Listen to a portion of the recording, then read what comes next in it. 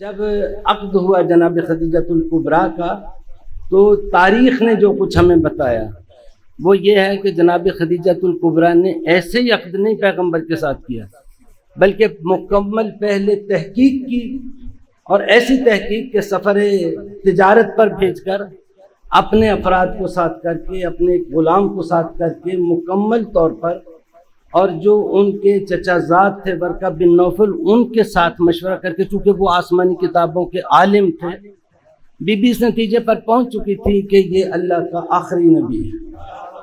یہ خاتم النبیین ہے۔ اور وہ میرے دوست ہیں، کبھی کبھی ان سے گفتگو ہوتی ہے تو وہ کہتے ہیں کہ اسلام سے پہلے بھی مسلمان تھیں خدیجہ۔ اسلام تو تب کوئی لایا ہوگا نا پہلے کون لایا، بعد میں کون لایا، ابھی تک تو لوگ اسی میں الجھے ہوئے ہیں۔ اسلام تو اس وقت پیش ہوا نا دعوت ذوالعشیرہ سے شروع ہوتا ہے، لوگوں کے سامنے پیش ہونا۔ اور دعوت ذوالعشیرہ میں بھی آپ کو پتا ہے کہ آقا نے کس کے شانے پر ہاتھ رکھ کے کہا تھا۔ ان عقی و وسیعی و خلیفتی و وزیری، یہ ہے میرا وزیر، یہ ہے میرا خلیفہ، یہ ہے میرا جانشین۔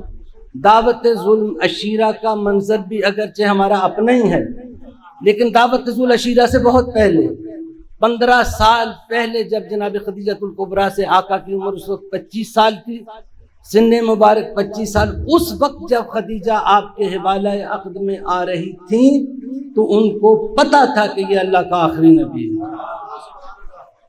اسلام سے پہلے بھی مسلمان تھیں خدیجہ اب جتنے مسلمان لائیں گے، وہ تو دعوت الشیرہ کے بعد ہی ہے نا۔ تو اسلام سے پہلے بھی مسلمان تھی خدیجہ، گویا کہ ابو طالب نسواں تھی خدیجہ۔ یہ سورہ وضحا میں دونوں کا ذکر بھی خالق کائنات نے اگر ان کا ذکر کیا تو حضرت ابو طالب کا بھی ذکر کیا۔ علم یجد کا یتیمن فعابہ کیا تھا ہم نے تجھے یتیم پایا اور پناہ نہیں دی؟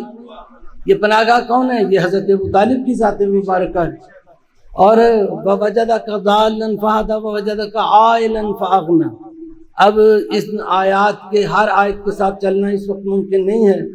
اس لیے دو جملے وجدہ کا آئلن فاغنا اے میرے حبیب، ہم نے تمہیں تہی دست پایا، خالی ہاتھ پایا، اور ہم نے تمہیں خدیجہ عطا کر خالق کائنات کی طرف سے جو تحفہ حبیب کبریا کو عطا کیا گیا یا جو تحفے عطا کیے گئے خالق کائنات نے جن میں اپنے احسانات یاد دلائے، ان احسانات میں سے ایک احسان جناب خدیجہ ہے۔